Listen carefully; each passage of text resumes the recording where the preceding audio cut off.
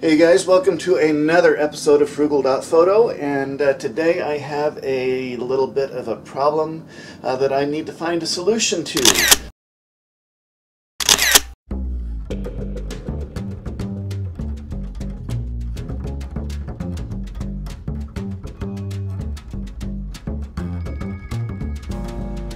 That was an issue that needs solved but not the issue that I'm talking about here. Let me explain what I need. The neck strap can be a useful safety feature. If you lose your grip on your camera, you don't crack it on the cement, right? However, it is a bit of a hindrance. It is, it does, I feel like it limits me. I feel like I'm tethered to this thing. And when I'm photographing, I like to get um, different angles. I like to be able to move freely with my camera. And I feel that the neck strap limits that. Um, as well as lots of times if you take it off and you're trying to photograph, that annoying neck strap can get in the way and it has ruined a few shots for me.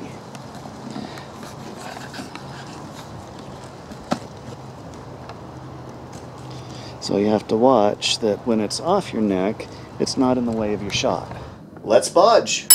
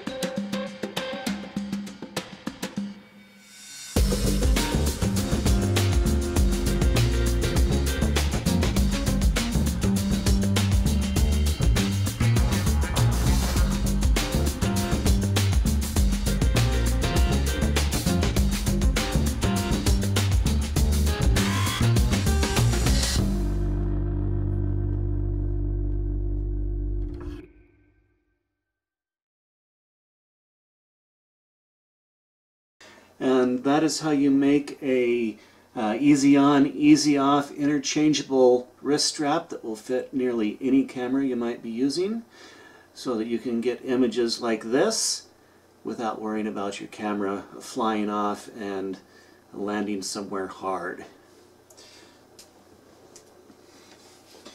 And that is it for today.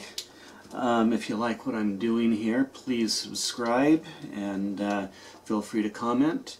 Uh, let me know uh, some of your favorite do-it-yourself projects to uh, that help save you some time and money.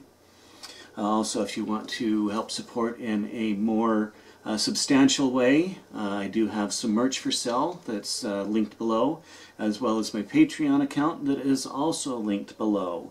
And that will help me improve the uh, quality of these videos as well as uh, buy equipment that I can that I can try out for you guys.